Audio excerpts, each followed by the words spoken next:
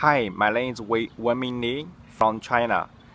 I have finished 120 hours on TESOL online TESOL trading, and uh, I'm very glad to hear that I have completed this class, this course successfully, and I learned a lot from this course.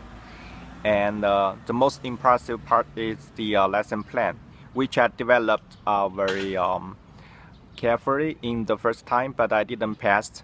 Uh, surprisingly, I got the feedback with very detailed uh, suggestions and comments.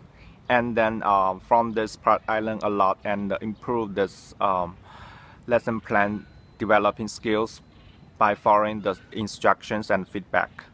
Uh, I was really moved and uh, I think um, this kind of um, course training are very helpful for the teacher to develop his or, he, or her um, teaching skills and uh, with a lot of um, practice following the instructions from this course.